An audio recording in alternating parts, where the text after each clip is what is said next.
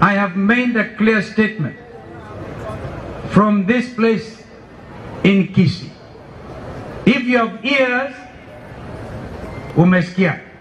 Kama hujasikia, dhubutu. And you know this country belongs to all of us. You will know this is a country that is supposed to be under the rule of law. Wanasema vijana wetu wapelekwe Haiti. Waka, wakapigane Haiti. Yaani tutumiwe sisi nyeusi because watu wa Haiti ni weusi kama wakisii, Ni weusi kama sisi. Yaani wazungu watafurahia mtu mweusi akiua mweusi mwenzake. Nao hiyo pesa hatutaki.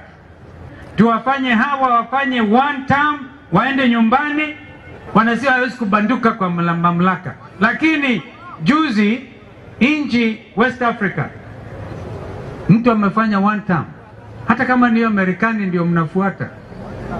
Si Trump alifanya one term?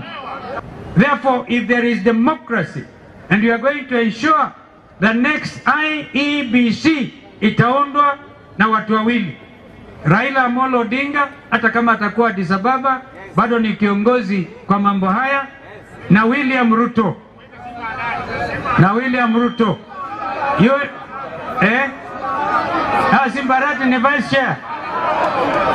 Ni vile tu tuliandika that they will have to agree. We are watching our brothers in ODM, msikubali kugawanywa ODM. ODM ikiwa na nguvu, Wiper iko na nguvu.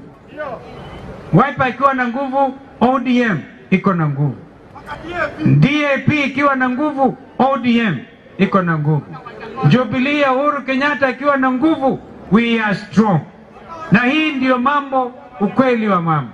Kwa hivyo nataka sana munisalimie, museme tuta, tutarudi tena, mtukaribishe.